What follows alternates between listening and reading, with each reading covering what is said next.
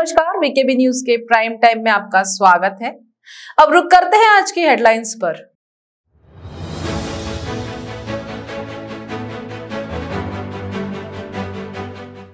सोमवार रहा बेहद सर्द। दिन का पारा सात दशमलव आठ डिग्री पर। कड़ाके की ठंड से तीन दिनों तक रहेगा पारा न्यूनतम।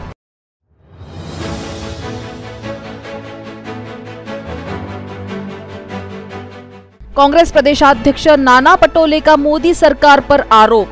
मोदी सरकार छिपा रही है अपने पाप।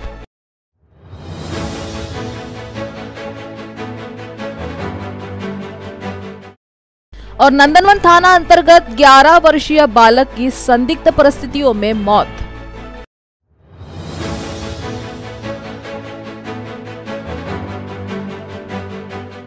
और अब खबरें विस्तार से।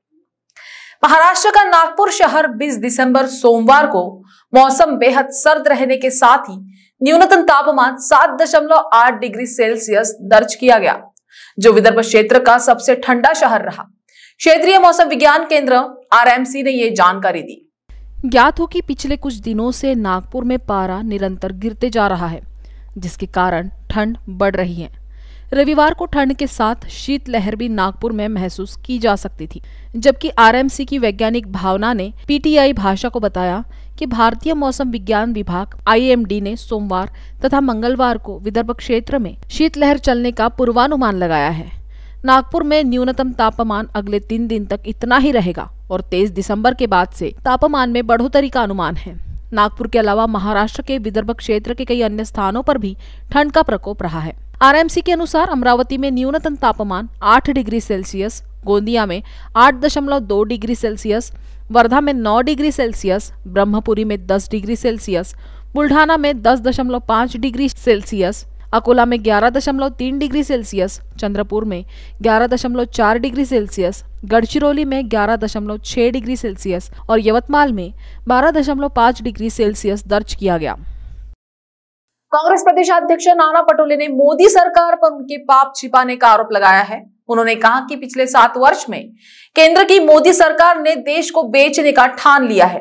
किसानों को आतंकवादी, देशद्रोही कहने वाली मोदी सरकार ने अपने पाप छिपाने के लिए ओबीसी का मुद्दा उठाया है। भाजपनी मुद्दामून या पद्धतीचा बाऊ करण्याचा आणि त्यांनी जे गेल्या सात वर्षात मोदी सरकार सरकारनं, भाजप सरकारनं केंद्रामध्ये बसून देश विकला, शेतकऱ्याला आतंकवादी नक्षलवादी आणि आंदोलनजीवी म्हणाले हे सगळे मुद्दे या निवडणुकीत येतील आणि म्हणून ओबीसीचा मुद्दा पुढं आणून हे सगळं पाप लपवण्यासाठी हा प्रकार त्यांनी केलेला होता.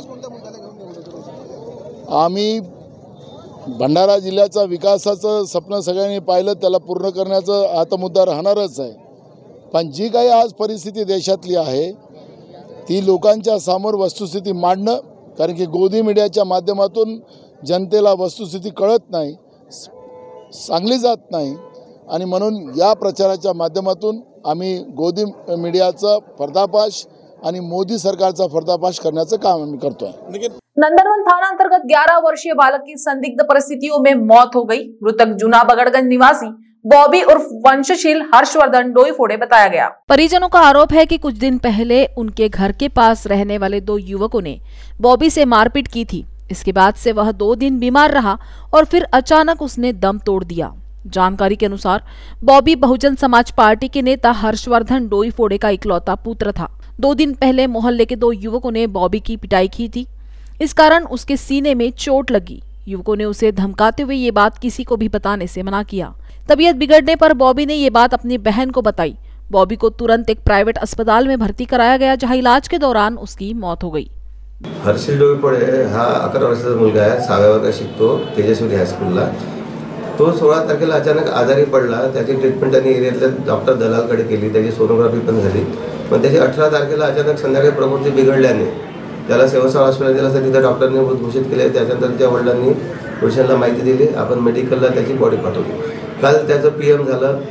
अजून पी एम रिपोर्ट अवेटेड आहे. जोपर्यंत पी एम रिपोर्ट येत नाही तोपर्यंत आपण निश्चित काही समजू शकत नाही मरणाचं कारण जोपर्यंत आपल्याला माहीत पडत नाही तोपर्यंत आपण निश्चित काही समजू शकत नाही. जसं पी एम रिपोर्ट प्राप्त होईल त्यानुसार पुढची कारवाई करण्यात येईल. तर याच्या आई वडिलांनी काय फिर्याद दिली आहे काय तक्रार दिली आहे काय त्यांचा संशय आहे कोणावर? त्यांच्या आई वडिलांचं म्हणणं आहे की चौदा तारखेला वस्तीतले दोन मुलं आहे त्याच्यापेक्षा वयाने थोडे मोठे अठरा ते वीस वर्षाचे. त्यांनी कधी त्याला टपली मारली म्हणतात. त्याच्यानंतर तो सोळा तारखेला आजारी पडला. त्याच्यामध्ये नेमकं कोणतं कारण आहे? जे जोपर्यंत पीएम रिपोर्ट येत नाही आपण निश्चित काही सांगू शकत नाही. नागपुर में छत्रपति शिवाजी महाराज की प्रतिमा का अभिषेक कर, कर्नाटक में हुए घटना का राष्ट्रवादी कांग्रेस द्वारा विरोध किया गया। इस दौरान बड़ी संख्या में कार्यकर्ता उपस्थित थे। कर्नाटक में छत्रपति शिवाजी महाराज के प्रतिमा का अपमान किया गया, जिसके विरोध में नागपुर में राष्ट्रवादी कांग्रेस द्वारा महाल में छत्रपति शिवाजी महाराज के प्रतिमा का अभिषेक कर सांकेतिक विरोध दर्शाया गया। काल जो कर्नाटकामध्ये बेलगममध्ये ज्या आपल्या छत्रपती शिवाजी महाराजांचा जो शाही फेकून जो अपमान केलेला आहे आपल्या देशात आपण महापुरुषांना अतिशय मानतो. आपण पुतळ्यांना सुद्धा एक मान देतो सन्मान देतो देवाचा दर्जा देतो. अशा पुतळ्यावर डॉक्टर बाबासाहेब आंबेडकर असेल शिवाजी शिवाजी महाराज असतील अजून इतरत्र जे काही ज्योतिबा फुलेचे असतील सगळ्यांच्या पुतळ्याला आपण सन्मान तेवढाच देतो. परंतु आता अशी परिस्थिती आलेली आहे की आपल्या देशातले आपल्या महाराष्ट्रातले पुतळेसुद्धा सुरक्षित राहिलेले नाही. आज अशी विटंबना करणाऱ्या लोकांच्या विरोधामध्ये आम्ही आज इथं आंदोलन म्हणून नाही परंतु सांकेतिक त्यांना आम्ही हे सांगतो की तुम्ही जेवढा छळ कराल तुम्ही तेवढा छळाचा आम्ही तुमचा बदला घेऊ. आज ज्या पद्धतीने आम्ही इथे येऊन आम्ही अभिषेक शर्करा अभिषेक केला आम्ही महाराजांच्या प महाराजांच्या विषयामध्ये आम्ही आमची आत्मा आमची श्रद्धा आहे. आमची श्रद्धा असल्यामुळे आम्ही आज इथे व्यवस्थित त्यांचा अभिषेक करून एक दुधानी शर्करानी अभिषेक करून आज ते त्यांना एक मा मान दिला वंदना केली. आज आरती करून आम्ही एक त्यांना एक सांकेतिक जे कोणी याचे अकृत्य कृत्य करणारे आहेत त्यांना एक संकेत देतो की याच्यापुढे भविष्यामध्ये आता तर आम्ही या पद्धतीचे आम्ही आंदोलन कर सांकेतिक हे आंदोलन केलेले आहेत. तर पण पुढे अशा पद्धतीचं जर कार्य झालं जर देशाचे प्रधानमंत्री अशा पद्धतीच्या आपल्या महापुरुषांना जर च्या विटंबना पुतळ्याच्या विटंबना होत असेल तर आम्ही राष्ट्रवादी काँग्रेस पार्टीचे सगळे कार्यकर्ते पदाधिकारी कुठेही आम्ही सहन करणार नाही. अमरावती ज़िले में रोज़ाना 100 कुत्तों का इलाज किया जा रहा है। कुत्तों पर पायरो वायरस नामक रोग आया है। अमरावती में पालतू के साथ ही लावारिस कुत्तों पर भी पायरो वायरस ने अटैक किया है। ये संसर्गजन्य विषाणु रहने से ये बीमारी एक से दूसरे को हो रही है। विशेषकर पालतू कुत्तों को टीका नहीं लगाया गया या फिर इलाज नहीं किया गया तो उनकी मौत भी हो सकती है। इसलिए घर में कुत्ते पालने वाले ने बिना घबराए कुत्तों का इलाज करना चाहिए ऐसा आह्वान जिला पशु चिकित्सक विभाग ने किया है। अमरावती में रोज़ाना सौ के करीब कुत्तों का इलाज किया जा रहा है। गेल्या पंधरा दिवसामध्ये अ, आमच्या अ, जिल्हा पशु चिकित्सालयामध्ये उलटी आणि रक्ताची संडास होणे या तक्रारी घेऊन श्वानपालक इथे येत होते. गेल्या पंधरा दिवसामध्ये सातशे आठशे डॉग्स असे आले असतील. तर ते पूर्णपणे बरे झाले आहे. एकही त्यातला दगावला नाही. हे ही लक्षणं पार्वसदृश्य आहे. तर तरी प्रामुख्याने ज्या श्वानांना लसीकरण व्यवस्थित झालेले नाही अशा श्वानांमध्ये हे असे लक्षणं आढळले. आणि ज्यांना एक डोस दोन डोस असे लसीकरण झालेले होते त्यांच्यामध्ये फार सौम्य प्रकारची ही लक्षणं होती. एक दोन दिवसातच ते ठीक झाले. तरी मी सर्व श्वानप्रेमींना असे आवाहन करू इच्छितो की असे लक्षणं आढळले तर त्वरित तिथे घेऊन येणे आणि ज्यांच्या ज्यांच्या श्वानाचे लसीकरण झालेले नसेल त्यांनी प्रॉपर जनताचं औषध देऊन आणि डॉक्टरांच्या सल्ल्याने इथे लसीकरण करून घेणे. आता गेल्या पाच सहा दिवसामध्ये नवीन येणाऱ्या केसेसची संख्या खूप कमी झालेली आहे. म्हणजेच ही जी पार्वसदृश्य आजाराची लक्षणे असलेले डॉग्स खूप कमी येत आहे. सुरुवातीला दररोज वीस पंचवीस येत होते. आता पाच सहा येत आहेत. तरी श्वानप्रेमींनी घाबरून न जाता आपल्या श्वानाचे लसीकरण करून घेणे आणि असे लक्षण असले तर इथे घेऊन उपचार करून घेणे असे मी आवाहन करतो. वक्त हो चला एक ब्रेक का? मिलते एक छोटे से ब्रेक के बाद. बाय सब जानना चाहते हैं। मेरा फेवरेट कलर मेरा फेवरेट डेस्टिनेशन मेरी फेवरेट डिश पर कोई ये नहीं पूछता कि फेवरेट डिश मैं बनाती कैसे हूँ। अरे यार जिसे टेस्टी खाना पसंद है वो अच्छे टेस्ट तक पहुँच ही जाता है। सुरुचि मसाले। खाने में हो रुचि तो घर लाइए सुरुचि। अपने सपनों की उड़ान भरने की इच्छा तो हर किसी की होती है। पर पंख भी तो मज़बूत होने चाहिए। जो देता है Flywheel aviation academy Flywheel aviation academy एक ऐसा इंस्टीट्यूट है जहाँ पर एयरलाइंस एंड एयरपोर्ट हॉस्पिटैलिटी और टूरिज़्म मैनेजमेंट साथ ही यहाँ campus interview guidance by industry expert practical training at airport expert faculty personal grooming जैसे कई सारे बेनिफिट आप पा सकते हैं। Flywheel aviation academy one degree three job opportunities Flywheel aviation academy gives you a degree और diploma with a job Flywheel aviation academy 365 Gandhinagar LAD college square beside Karnataka bank Nagpur.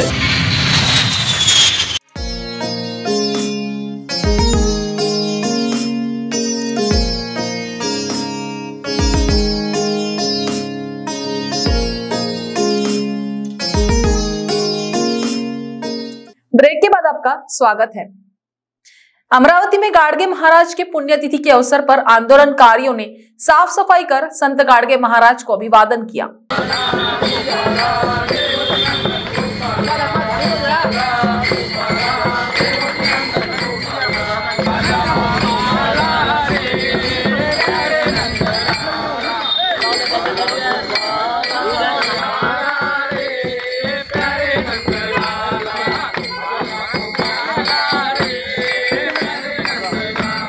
बीते डेढ़ महीने से राज्य सरकार में शामिल होने की मांग करते हुए एसटी कर्मचारी, परिवहन महामंडल कर्मचारी आंदोलन पर बैठे हैं।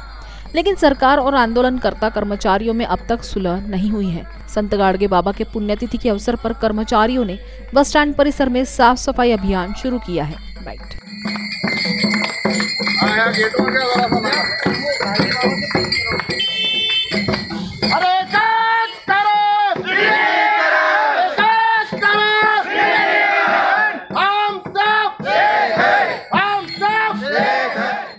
होऊ देऊ नका.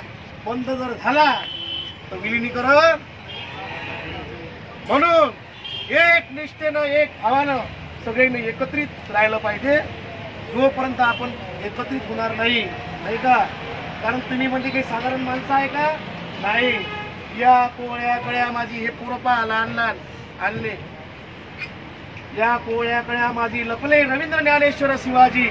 विकसता प्रगतीला समाजी किती? शेकडो महापुरुष या महापुरुषांचं बलिदान वाया जाऊ देऊ नका हा तुमचा संप हा वाया जाऊ देऊ नका माझी माय माऊली आज रस्त्यावर आलेली आहे माझा बांधव आज रस्त्यावर आलेला आहे. याला न्याय भेटलाच पाहिजे आणि हा न्याय केव्हा भेट हा जेव्हा विलिनीकरण होईल आणि तुम्हाला ते विलिनीकरण भेटणार म्हणजे भेटणार. जगातल्या सर्व देवतांना सर्व लोकांना सर्व जनतेला एकच विनंती करतो गोपाला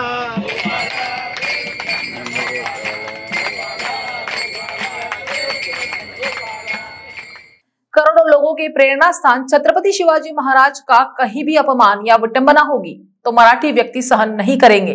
ये प्रतिपादन एनसीपी के महाराष्ट्र राज्य संगठक अभिजीत फालके पाटिल ने किया।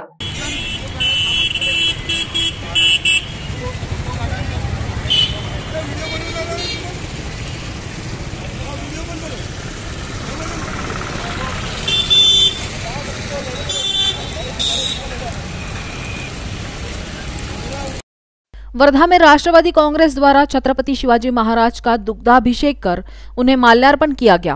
कर्नाटक में शिवाजी महाराज की प्रतिमा पर स्याही फेंककर हुई विटंबने का निषेध किया गया, जिसका असर संपूर्ण राज्य में दिख रहा है।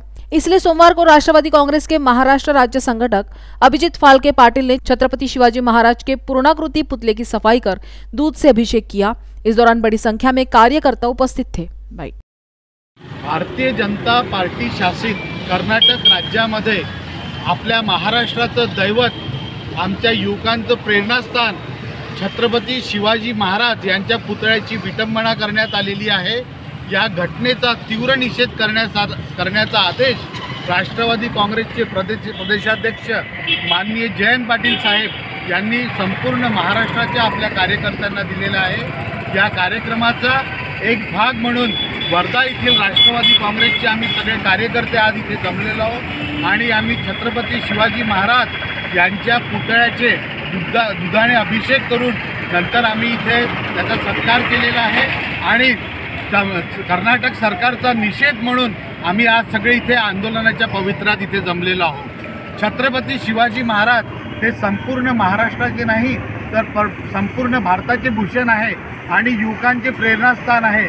या छत्रपती शिवाजी राजांचा जर कुठेही त्यांच्या पुतळ्याची विटंबना किंवा त्यांचा अपमान होत असेल तर संपूर्ण मराठी माणूस जो पूर्ण भारतात आहे किंवा भारतीय संपूर्ण माणूस हा पेटल्याशिवाय राहणार नाही. याची भारतीय जनता पार्टी सरकारने याची गंभीरपणे दखल घ्यावी आणि अशा घटना भविष्यात कुठेच होणार नाही याची दखल त्यांनी घेतली पाहिजे असं आमचं पण या ठिकाणी मागणी आहे. नागपुर में पाँच पौली थाने के तहत नाइक तालाब चौक की पुलिस चौकी के पीछे छापा मारकर क्राइम ब्रांच की टीम ने नायलॉन मांझे की 707 चक्रिया जब्त की है। ये कार्रवाई रविवार की शाम हुई। पुलिस चौकी के पीछे ही मांझे की खुलेआम बिक्री हो रही थी।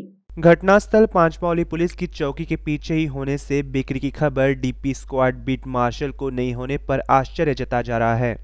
इसके चलते शहर की पांचपौली पुलिस भी संदेह के घेरे में आ गई है। पुलिस को पुलिस चौकी के पीछे रहने वाले आरोपी सुबोध मदन लाल कोहाड़ के नायलॉन मांझे की बिक्री में लिप्त होने की खबर मिली थी। सूचना मिलने पर यूनिट थ्री के पुलिस निरीक्षक प्रदीप रायन्नावार एपीआई पवन मोरे की टीम ने शाम चार बजे कोहाड़ के घर पर छापे की कार्रवाई की। उसके घर के सामने से पुलिस को चार लाख चौबीस हज़ार रुपए कीमती का मांझे सहित ऑटो भी मिल गया। माननीय पोलीस आयुक्त श्री अमितेश कुमार सर यांनी तसेच D C P detection sir यांनी नायलॉन मांजा बाळगणारे विक्री करणारे यांच्यावर कडक कारवाई करण्याचे आदेश दिलेले आहेत. त्या अनुषंगाने युनिट तीनकडून गेल्या महिन्याभरात दोन कारवाई यापूर्वी करण्यात आलेल्या आहेत. आजसुद्धा एक मोठी कारवाई केलेली आहे. त्याच्यामध्ये तांडापेठ पाचपावले येथे राहणारा सुबोध पोवाड नावाच्या इस्माकडून आम्ही तेरा बॉक्स नायलॉन मांजाचे जप्त केलेले आहेत. त्याच्यामध्ये एकूण सातशे सात नायलॉन मांजाच्या चक्री आहेत. तसेच त्याच्याकडून एक महिंद्रा अल्फा नावाची गाडीसुद्धा जप्त केलेली आहे. या सर्व मुद्देमालाची किंमत जवळपास सहा लाख चोवीस लाख इतकी आहे. साउदर्न मार्ग पर दादाजी नगर बाज़ार के बाजू में सीमेंट सीट पर बैठे तीन लोगों को एक कार ने रिवर्स गाड़ी लेते समय बेरहमी से कुचल दिया जिसमें एक व्यक्ति गंभीर जख्मी हुआ वही बड़ी घटना टल गई। इस घटना का रात में वीडियो वायरल होने से शहर में चर्चा का विषय रहा। बगैर पुलिस को जानकारी के जख्मी लोगों ने कार सहित पलायन कर लिया। इस तरह की शहर के इतिहास की पहली घटना होगी। इस घटना को लेकर रविवार को सुबह नागरिकों में चर्चा ही हो रही थी। इस घटना वीडियो सीसीटीवी के ज़रिए सामने आया, जिसमें एक सफ़ेद रंग की कार ने रिवर्स लेते समय ऐसी गड़बड़ी की कि जिसकी चपेट में तीन लोग आ गए, जिसमें से एक बुरी तरह एक दुर्घटना का शिकार हो गया।